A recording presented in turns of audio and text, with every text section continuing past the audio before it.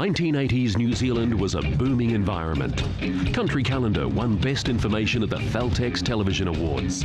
And the New Zealand music industry was on the verge of taking flight.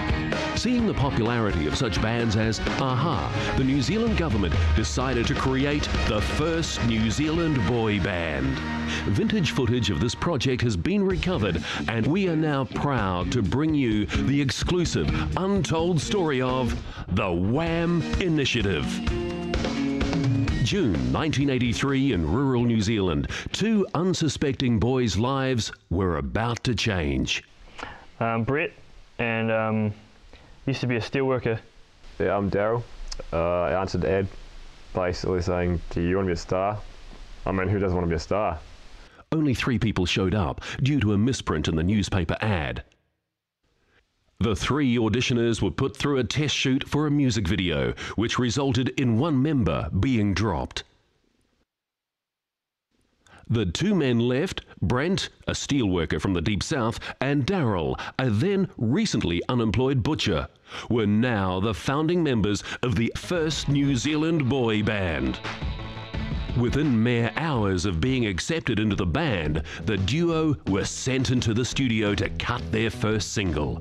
It quickly became apparent to the producer, Nicky B, that the two boys couldn't sing, something they foolishly hadn't tested for in auditions. In the swamp of love, ah, swamp love, in up to my nipples of love.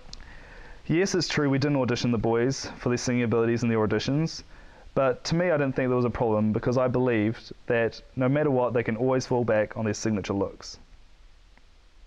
The next step was to decide on a name for the duo. After a few initial suggestions from the producers, the name Boys Plus was decided upon. Plus what? Plus, plus, plus what? Well, I think that's the point of it, the amb- ambiguity. It's good for me because I've never been able to subtract, eh?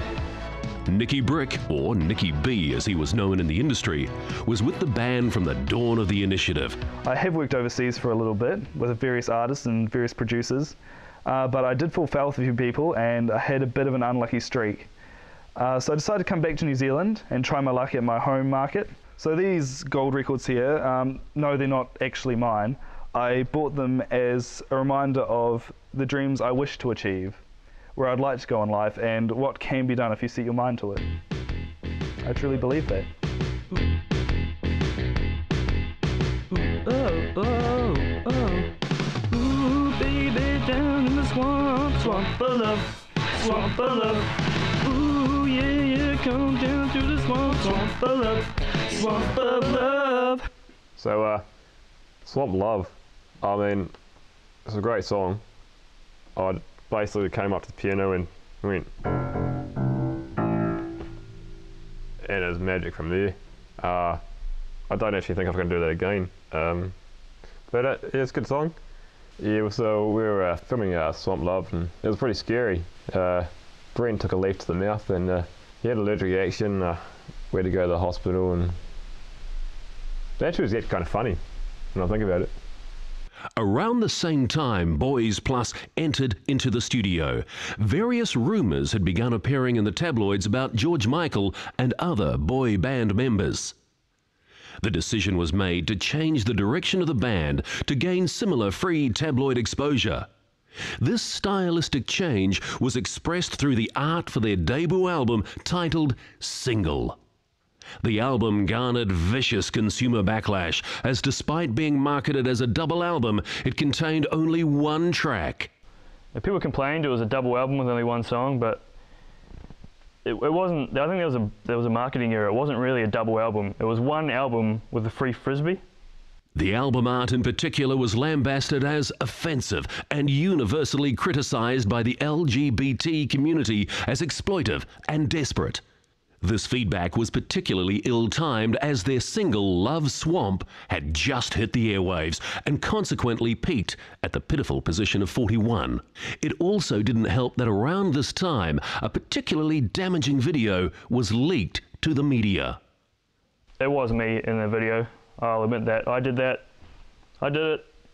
I did that entire action in the video. So I'm really enjoying being in the Boys Plus, and I, I hope I hope we're around forever. You know, hope hope we get another another record.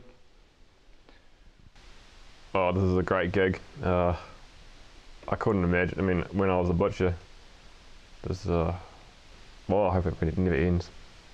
I'll probably commit suicide if it does. After a year of preparation and just over half a million taxpayers' dollars being poured into the scheme, the members of government unanimously decided to dissolve the initiative.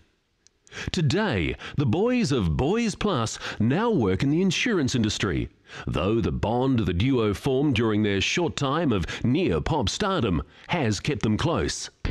To this day, they still get together once a year to relive their days of glory. In the swamp of love. Ooh, baby, down in the swamp, swamp of